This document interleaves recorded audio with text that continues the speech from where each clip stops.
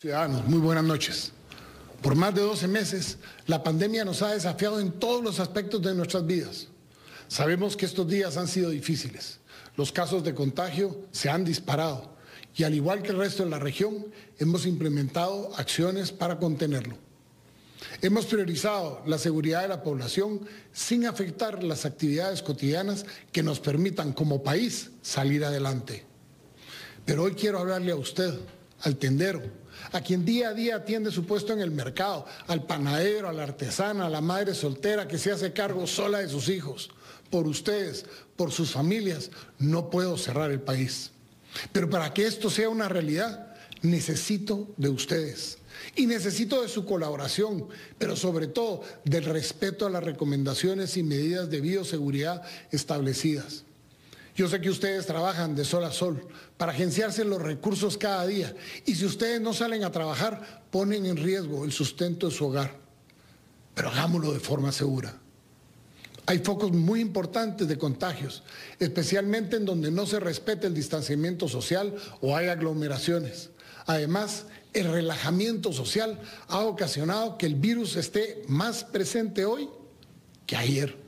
Y esta amenaza a la salud mundial está presente. Por eso debemos encontrar la forma para que juntos salgamos de esta crisis que se estamos enfrentándola en un momento histórico para toda la humanidad. Hoy quiero asegurarles que nuestro compromiso con ustedes es completo. Estamos poniendo en esta lucha todas nuestras fuerzas y nuestro corazón, además de los recursos necesarios. Sin embargo, no podemos negar la debilidad histórica de nuestras instituciones que hace que compitamos de forma desequilibrada contra la pandemia.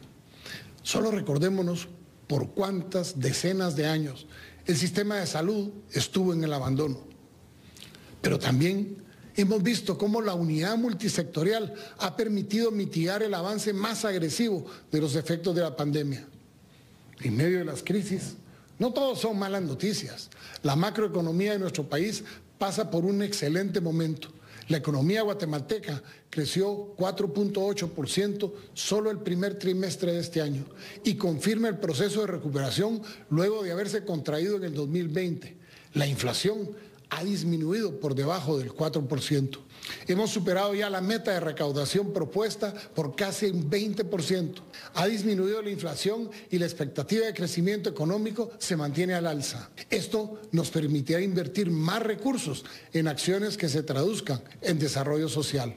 A nivel mundial, se ha trabajado incansablemente en encontrar una vacuna que pueda contrarrestar los efectos de este virus, comprometiendo a los países a trabajar en una meta común, la salud de la población, de la humanidad. Las vacunas siguen llegando y en los últimos días hemos recibido más de dos millones de dosis. Una vez más, quiero reiterar mi profundo agradecimiento hacia el gobierno y al pueblo de los Estados Unidos de América por la generosa donación de 1.5 millones de la Casa Farmacéutica Moderna. Acciones como esta reafirman las excelentes relaciones bilaterales que continuamos fortaleciendo y que seguirán dando frutos en múltiples campos de interés, tales como el desarrollo económico, el combate al crimen organizado transnacional, al narcotráfico, la persecución de los traficantes de personas o coyotes y atender las causas históricas estructurales que han provocado la migración. Estas vacunas se suman a las que más de 150 mil que nos han donado países hermanos como México, a quien también agradecemos inmensamente su solidaridad. Continuamos con las gestiones de compra con otros fabricantes para que estos, aprobados por la OMS, puedan acelerar el Plan Nacional de Vacunación. Además, seguimos participando en el mecanismo COVAX y esperamos una importante entrega para las próximas semanas. El plan de vacunación continúa y tiene como propósito atender de una manera ordenada y priorizada a los guatemaltecos y guatemaltecas. Hemos aplicado 1.014.308 dosis hasta las 12 de la noche del día de ayer. Para agilizarlo, hemos fortalecido la coordinación para la ejecución conjunta con el Instituto Guatemalteco de Seguridad Social, al sector privado y todas las instituciones de gobierno, conscientes y convencidos que vacunar a nuestra población es un asunto de prioridad nacional. Esta semana recibirán mensajes de texto con la asignación de cita para vacunación las personas mayores que ya están registradas y que superan las 150 mil. Y a ustedes, personas mayores de 50 años, que aún no se han ingresado al sistema, que aún no se han registrado, les recuerdo la importancia de inscribirse en la página web vacuna.gov.gt ya que para garantizar la atención y el orden en los centros de vacunación no se vacunará a quienes no tengan registro previo y no hayan recibido su cita. En el interior del país, en las comunidades más alejadas, también vamos a atender, como lo hemos estado haciendo en el ISCAM, por ejemplo. Pueden acercarse al centro de salud más cercano y a los promotores de salud del área, quienes pueden ayudarles en el proceso de inscripción, pero también en el de vacunación. Dentro del plan hemos priorizado en esta fase de la vacunación a los grupos prioritarios como maestros y docentes universitarios que nos ayudarán a lograr el pronto regreso seguro a clases, pero también a los vendedores de los mercados en las zonas de mayor afluencia, fuerzas de seguridad y otros grupos esenciales que permitirán que el país siga funcionando de la manera más segura posible. Quiero explicarles, por ejemplo, que lograr vacunar a más de 220 mil maestros públicos y privados, de institutos por cooperativa institutos municipales, nos permitirá el regreso a clases si lo logramos hacer en el transcurso del mes de julio. En el mes de agosto, nuestros hijos podrán regresar a la escuela con las debidas medidas de bioseguridad. Estamos fortaleciendo la estrategia de monitoreo y detección de casos positivos. He instruido al Ministerio de Salud Pública para que entregue kits para las personas que salgan positivas y los miembros mayores de edad de sus familias como una medida de contención. Tenemos ya más de 500 mil kits para comenzar con esta estrategia de entrega que nos ayudará a bajar los niveles de contagio.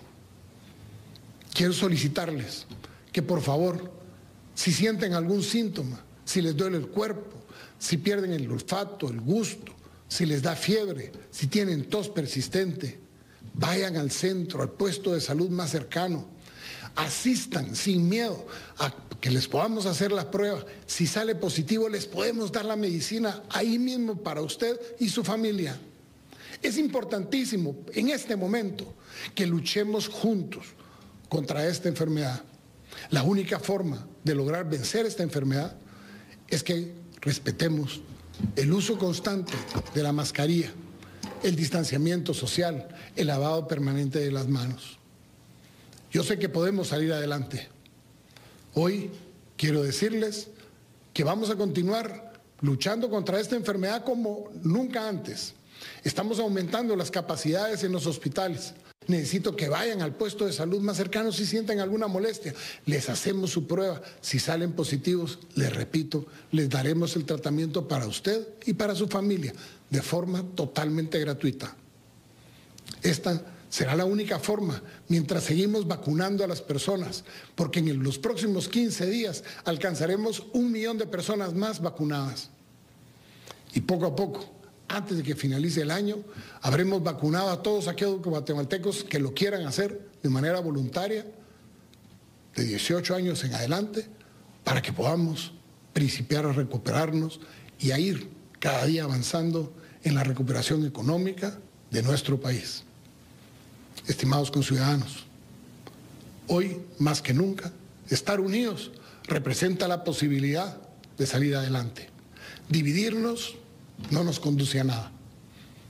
Les solicito también que por favor nos informemos de las fuentes oficiales, las noticias falsas, esas que nos aparecen a cada rato en las redes sociales, lo único que hacen es fomentar la división. Y sí, hay quienes quieren fomentar la división.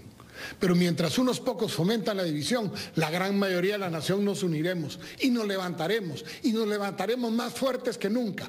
Lo verán, Guatemala va a tener este año un crecimiento sin precedentes, pero además de eso, vamos a salir del año 2021 más unidos que nunca.